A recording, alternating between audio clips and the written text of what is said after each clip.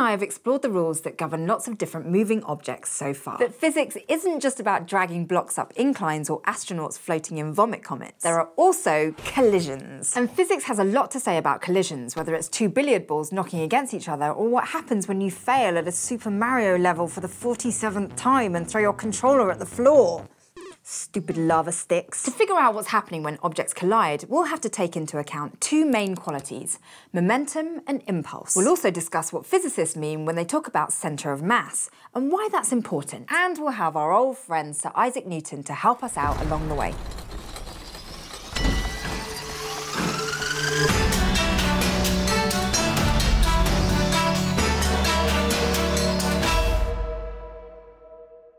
Remember Newton's second law? That's the one that says that the net force on an object is equal to its mass times its acceleration. Except that's not actually what Newton said. He really said that an object's so-called quantity of motion was equal to its mass times its velocity. And the net force is equal to the change in that mass times velocity over time. In other words, it's the derivative of mass times velocity with respect to time. And if you were to calculate that derivative, you'd find that the net force is just equal to mass times acceleration. But putting Newton's second law in terms of mass and and velocity introduces an aspect of motion that we haven't talked about yet. Newton didn't really give this aspect a name, but we will.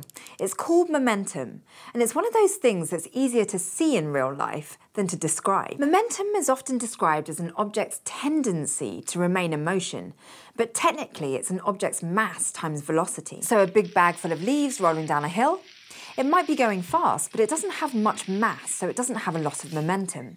And it wouldn't be too hard to stop. But the boulder chasing Indiana Jones, that had a lot of mass, and therefore lots of momentum so it would have been much harder to stop. And momentum is one factor that affects collisions between objects. After all, if a huge boulder crashes into another huge boulder, that's going to be a very different sort of crash than if a bag of leaves crashes into a boulder. But the other quality of a collision that we often consider is known as impulse, which at least in the context of physics, doesn't actually have anything to do with willpower or why you throw your game controller when you get stuck on a level. Instead, impulse, usually represented by a J, is the integral of the net force on an object over time. In other words, it's change in momentum. Impulse turns out to be a particularly useful way to describe a crash, because generally in collisions, forces change very quickly. So if a ball smacks into a wall and over the course of half a second, its force on the wall in newtons is equal to the time multiplied by 25, we'd say that its impulse was 3.1 newton seconds. Now let's consider the different kinds of collisions that we can study.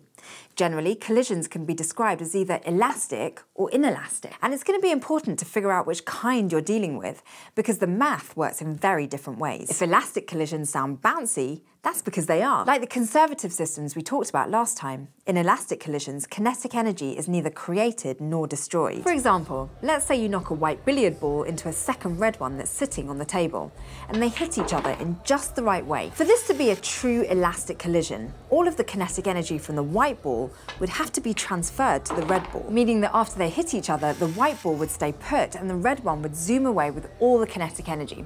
So the same speed, basically, that the white ball used to have. But you won't come across elastic collisions in real life because there's always going to be some energy that's lost somewhere in the collision, generally lost as heat or sound. And when kinetic energy isn't conserved, that's an inelastic collision. There is one thing that's going to be true about every collision, whether or not it's elastic.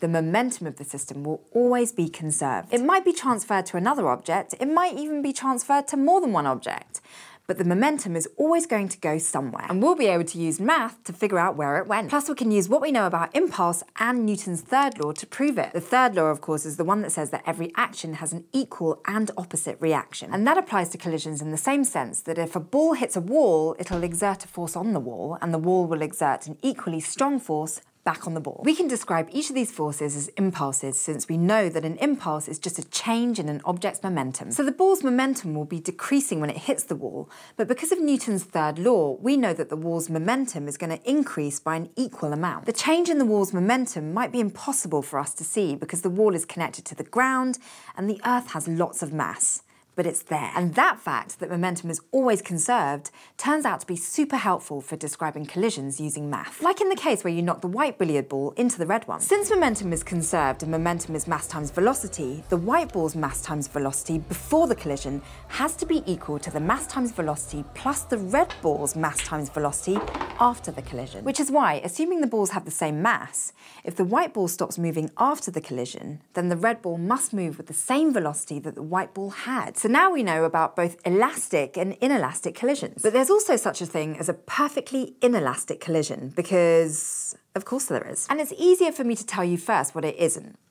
So, it is not a collision where the objects lose all of their kinetic energy. Instead, a perfectly inelastic collision is what happens when objects stick together. These collisions lose as much kinetic energy as possible to other forms of energy, like heat or sound or even potential energy, but still their momentum is conserved. An example would be if you pushed one magnet towards another at just the right angle for them to stick together on contact, and then they both started sliding together at half the speed of the magnet you pushed. Before the collision, the momentum of one magnet was zero, and the momentum of the one you pushed was its mass times velocity. Once the magnets collide, the mass is doubled and the velocity is cut in half. So the total momentum stays the same, but you lose some kinetic energy because there's less speed involved. So that's the basics of how collisions work and how they relate to the momentum of motion in a straight line. But there's one more detail we have to explore in order to really understand how objects move, whether they're going to collide or not, and that is centre of mass. Until now, we've been talking about objects as though they were little pinpoint particles. And that's worked fine for the most part because the objects we've been talking about would act much like a small dot would. But of course, not all objects work that way. If you've ever tried to fling a hammer, for example, which I don't recommend doing, it wouldn't fly through the air in the same way a softball would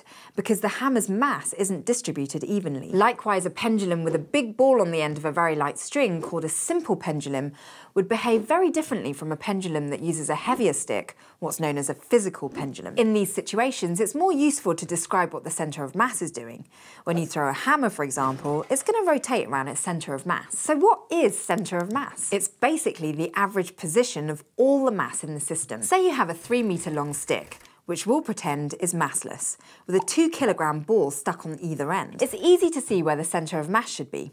The mass is distributed symmetrically, so its centre is going to be right in the middle of the stick. Now let's say you have another 3 metre stick, and on the left side there's a 2 kilogram ball, and on the right side there's a 4 kilogram ball. This time there's twice the mass on the right side of the stick. So when you're trying to calculate the average position of all the mass attached to the stick, you're going to be counting the right-hand side twice as much. That means the centre of mass will be two thirds of the way along the stick, closer to the four kilogram ball. It's like each piece of mass pulls on the centre of mass a little bit, so parts with more mass end up pulling harder and moving it closer. But if you don't want to calculate this in your head, and if there are like seven different particles to deal with, you probably won't. But there's an equation for it. First, pick a starting point to measure from, where x is zero. That can be the end of the stick, the middle of the stick, whatever's easiest, as long as you're consistent. Then the centre of mass will be equal to the sum of each individual mass times its distance from the starting point, all divided by the total mass in the system. Let's try it for our stick with the differently weighted balls. We'll choose the left side of the stick where the 2 kilogram ball is as our starting point. The 2 kilogram ball's mass times its position is 0. The 4 kilogram ball's mass times its position 3 metres is 12 kilogram metres, and the total mass of the system is 6 kilograms. So divide 12 kilogram metres by 6 kilograms and you get 2 metres. That's the position of the centre of mass, which is two thirds of the way along the stick towards the 4 kilogram ball side. Exactly what we figured out earlier. I'm telling you all of this now because from here we're heading off in a totally new direction, literally. But for now, you learned about collisions and how momentum and impulse can be used to describe them. We also talked about differences between elastic and inelastic collisions and how to calculate the centre of mass of a system. Crash Course Physics is produced in association with PBS Digital Studios.